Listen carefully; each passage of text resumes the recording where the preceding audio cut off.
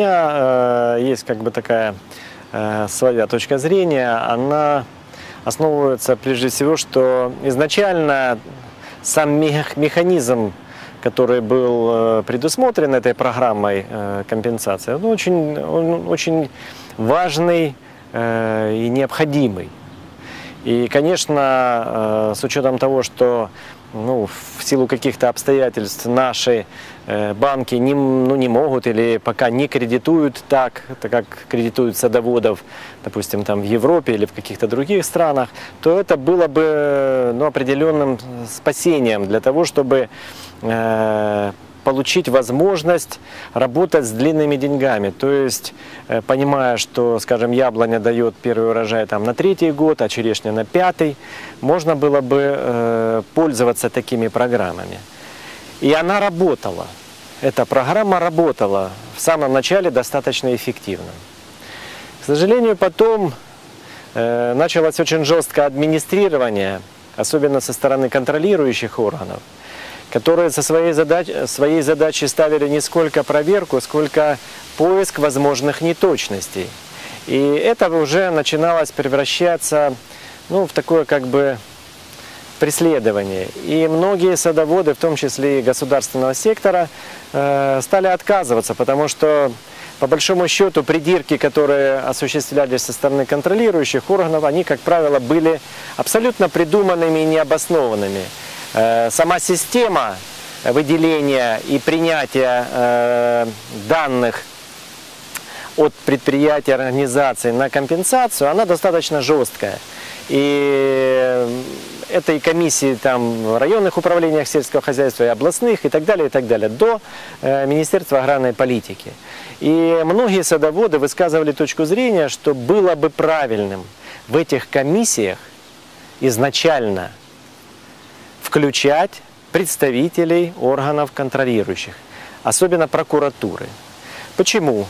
Потому что тогда, если бы там присутствовал представитель КРУ, представитель прокуратуры, когда уже деньги получены, не надо приходить и говорить, что вы неправильно подали заявку на те или иные деньги. Потому что именно в заявку входит весь пакет документов – как э, накладные, путевые листы. И, как правило, именно в этом контролирующие органы пытаются увидеть какие-то там разночтения. А когда весь, весь этот пакет документов будет утвержден изначально на первых инстанциях, никаких вопросов не возникнет потом, потому что будут стоять подписи ответственных специалистов из контролирующих органов.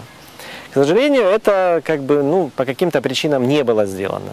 Второй момент, второй момент, что в силу э, ну, какого-то, скажем, э, дефицита я так говорю это особенно в, э, в переносном смысле, потому что деньги довольно большие э, выделялись э, ежегодно на, по этой компенсационной программе. Но дефицита средств и относительно субъективного характера распределения их, потому что нам было, ну там, скажем, 10 лет назад очень как бы непонятно, почему э, в Запорожском регионе э, наше государственное предприятие ОПХ Мелитопольское, оно было лидером в прямом и переносном смысле. В принципе, оно и остается и сейчас. По объему насаждений, по валу, по урожайности и так далее.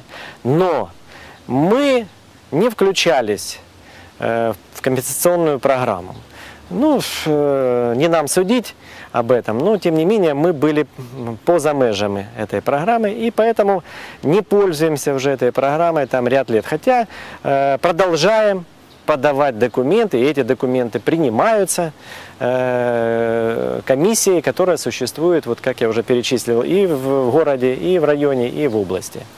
Но я считаю, что все-таки все-таки это один из инструментов, который позволит садоводам успешно закладывать молодые насаждения. А программа еще и шире, она предусматривает и э, компенсации на строительство хранилищ, я имею в виду холодильников, и там некоторые другие аспекты. Поднимался вопрос э, о какой-то компенсации за раскорчевку отработавших насаждений. Это тоже важный момент, и он тоже дорогостоящий, потому что э, это одна из важных частей э, технологии производства. Э, своевременная реконструкция насаждений. А порядок таков, что после э, реконструкции должно пройти от 5 до 7 лет, чтобы данная площадь была восстановлена через травы, через севооборот полевой и была вновь запущена под сад. Если рассматривать вопрос инвестиций, то, конечно, нет. Я думаю, что это не очень интересно. И мне кажется, что там зарубежные партнеры бы, э, их больше бы интересовало э, просто владеть какими-то, э, скажем, объектами или садоводческими какими-то предприятиями на правах полной собственности. Потому что, наверное, только тогда бы они бы вкладывали э, там серьезные капиталы.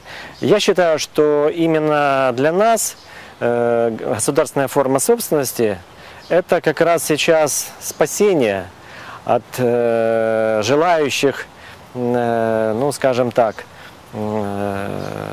каким-то образом принять участие принять участие в э, управлении предприятием, потому что наоборот э, у нас было э, около года такая, ну, скажем так, спор с властями города Мелитополя о том, что наши сады, которые находились или находятся, это больше 200 гектар в черте города Мелитополя по его окраинам, это те уникальные пески, что это имеет право на существование. И только за счет того, что это государственная, особо ценная земля, Национальная академия аграрных наук, только именно поэтому у властей городских ничего из этого не получилось. Поэтому я считаю, что э, форма собственности в данном случае не так принципиально важна. Э, важно правильно управлять и э, ну, не останавливаться то, о чем я говорил раньше в своем развитии. Это самое важное. Я считаю, что э, вопрос э, порядка, наведения порядка государственного э, в сертификации посадочного материала, в его производстве и в недопущении, скажем так, контрафакта, который абсолютно заполонил все наши, ну, все наши просторы. Вот. Э, это говорит о том, что государство пока не имеет возможности или желания э, начать жесткую борьбу э, с контрафактчиками, с теми, кто производит несертифицированный материал. Мы, как государственное предприятие, давно работаем, имея паспорт, патент и лицензию. И, конечно, я считаю, что э, если мы в самое ближайшее время не, ну, государство не примет э, репрессивных мер в отношении людей, которые производят э, материал кустарным способом, да, и потом его реализуют под брендами, в том числе и государственного предприятия ОПХ Мелитопольская, порядка не будет. Мы видим яркие примеры, как это делается у наших ближайших соседей, хотя бы Польша. Поэтому мы много говорим, мы, вернее, слышим о том, что пытаются навести порядок, но без привлечения серьезных правоохранительных органов к борьбе ничего не изменится. Наш человек старается выходить из любой ситуации, но, к сожалению, это очень серьезно, серьезно портит сортовой состав нашего простора украинского.